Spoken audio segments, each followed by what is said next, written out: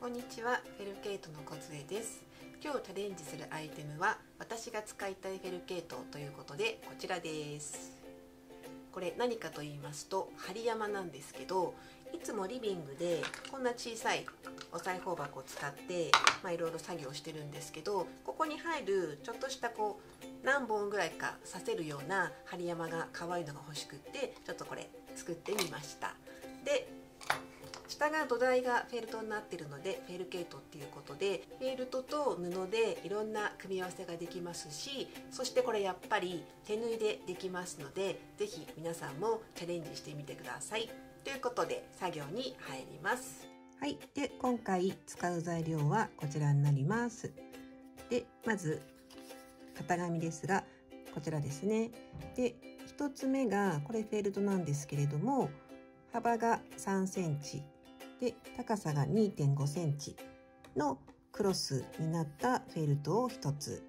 そしてこちらが布です。こちらは幅が3センチ高さが5センチのクロスになった布を1つ。でこの線なんですけどフェルトはこのままカットして大丈夫で布の方はこの線は縫い線になるので布をカットする時はこの点線なんとなくそうですね 5mm ぐらい余白を取って布をカットしてください。というのが2つ今回は使う材料です。でカットしたものがこちらです。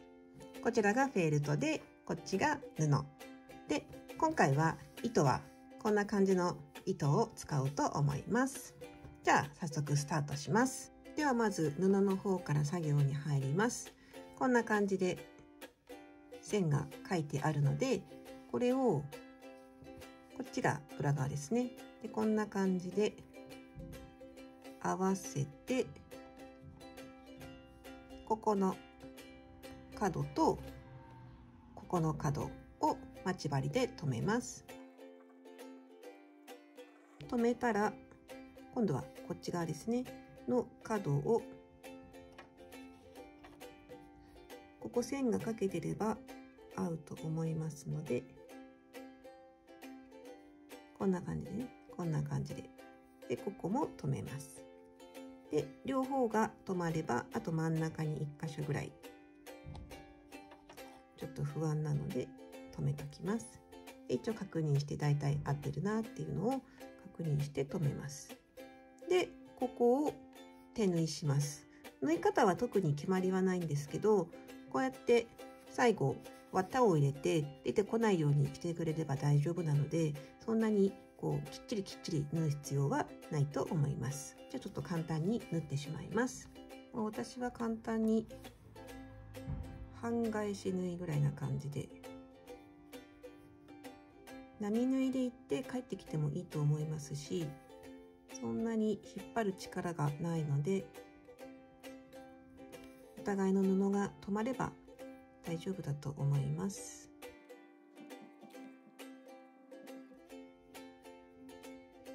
で最後ここの部分なんですけどここの角のところになるのでここはしっかりと端っこまで端っこまで縫ってあげてください。で縫えるとちょっとひっくり返してみるとこんな感じになりますね。こんな感じです。でもここ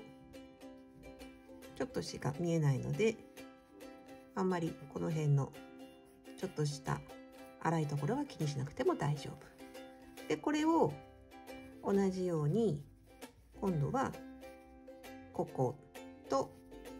こことここをすべて縫っていきます。はいこんな感じで4箇所縫ってみました。そうすると、まあ、こんな感じのものになるんです。袋になるんですけどこれをこうやってひっくり返すとちょっと角をねちゃんとつけてあげて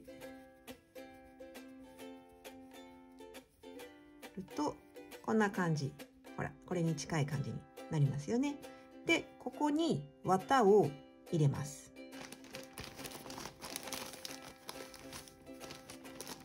綿はなんとなく適当に掴んでどんどん入れて入るまで入れていきますね。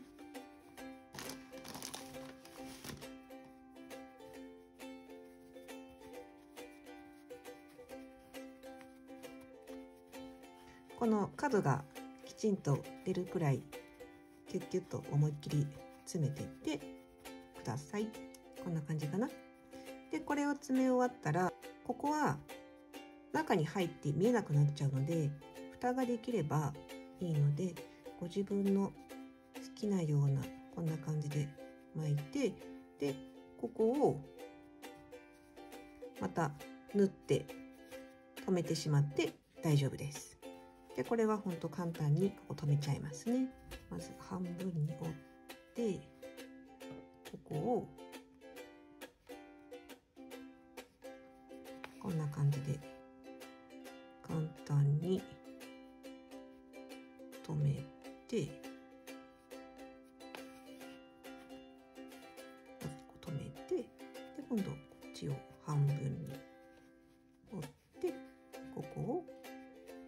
めちゃいます。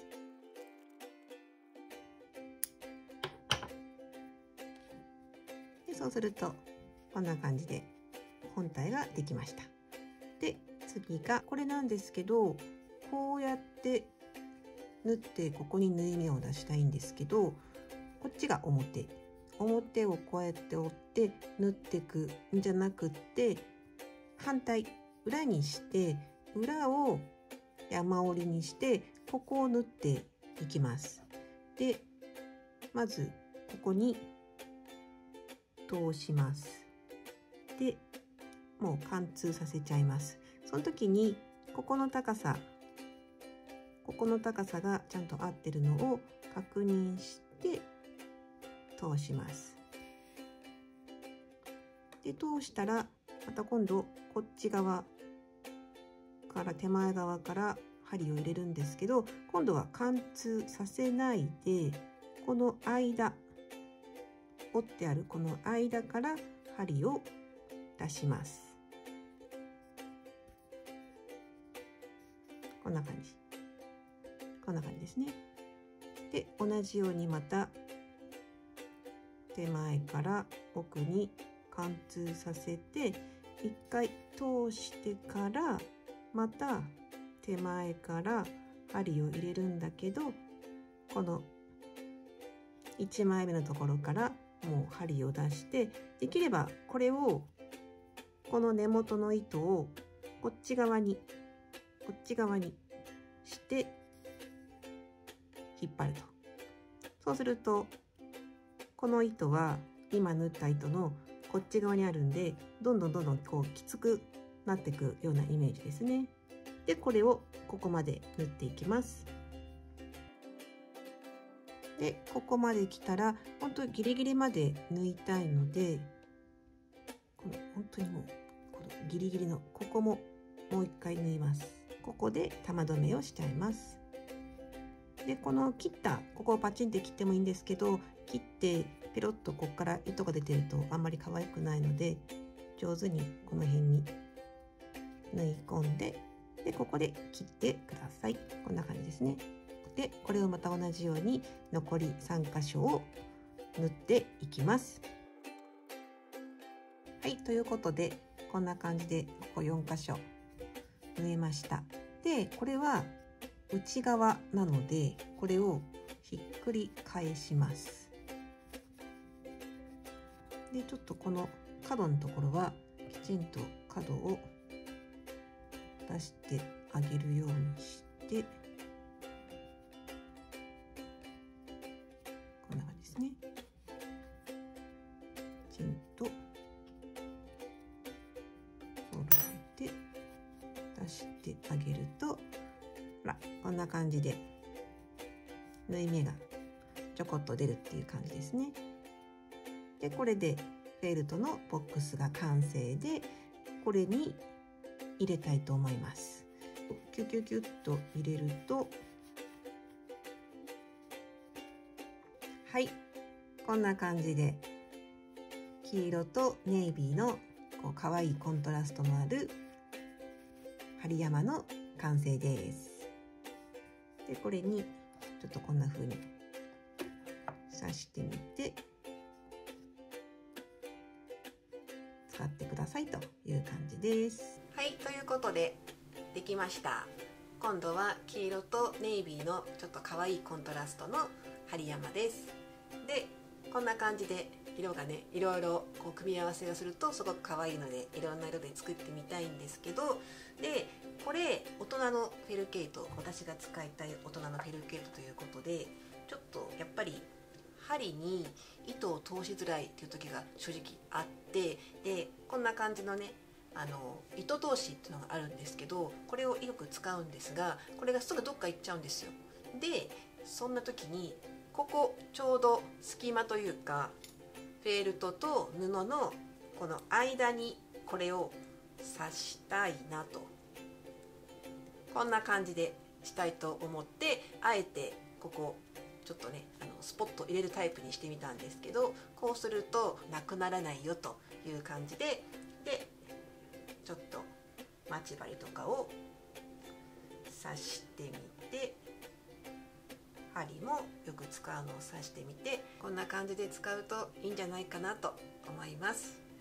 で、えっと、ここの布なんですけども面積が小さいのであまりこう大きな柄じゃなくってこういったちょっと細かい柄ですると柄が綺麗に出て可愛いと思いますのでそこだけちょっと気をつけてもらえると可愛くできるんじゃないかなと思います。ということで今日は私が使いたいフェルケート針山をご紹介しました。どうもありがとうございました。